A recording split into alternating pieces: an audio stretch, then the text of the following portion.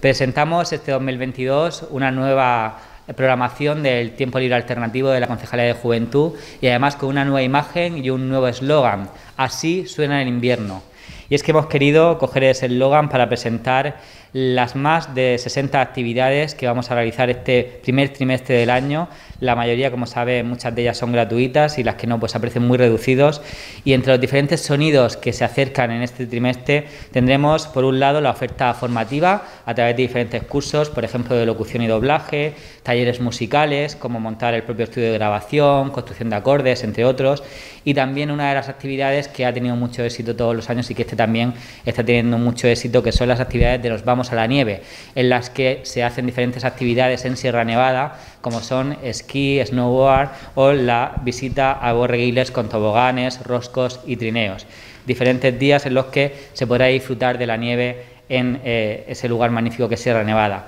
También mantenemos, mantenemos, otras rutas que han tenido mucho éxito y que son eh, de las que se han programado en los últimos trimestres, que son las de las rutas a caballo por el Parque Natural de Calblanque, con la idea de que se conozcan nuestro maravilloso parque regional y eh, pues que se disfrute también de, de esas visitas a caballo por Calblanque. También vamos a mantener otras actividades como son los talleres de cómic e ilustración, los talleres de juegos de mesa con escenografía y pintura de miniaturas y como novedad este trimestre queremos destacar que vuelven las noches de recursos juveniles. Es muy importante que haya un ocio alternativo, un ocio alternativo nocturno y por ello los últimos viernes de cada mes de este trimestre vamos a volver a tener las instalaciones del Centro de la Concejalía de Juventud abiertas los fines de semana para ofrecer todos los viernes, como digo, del final de mes actividades totalmente gratuitas a los jóvenes de 14 a 35 años. En estas noches de recursos juveniles tendremos diferentes actuaciones como serán y diferentes actividades como será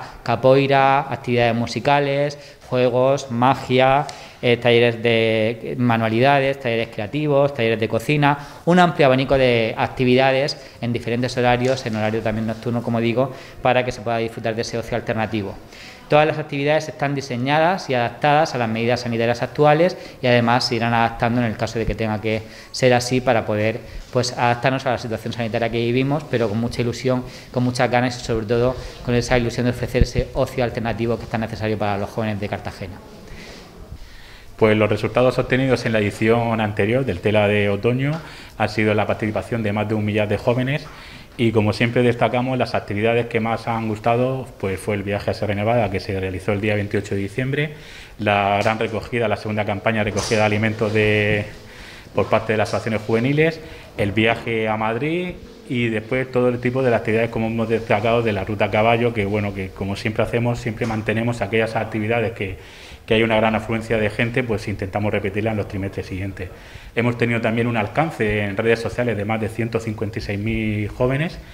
Y después destacar que ya comenzamos eh, este fin de semana con el curso de iniciación, como ha dicho David, a la escenografía y a la pintura, con los talleres de cómic. Y un dato importante, no quedan plazas para la actividad de Sierra Nevada para el día 23 de enero, pero sí nos quedan plazas disponibles para febrero, para marzo y para los combinados de nieve.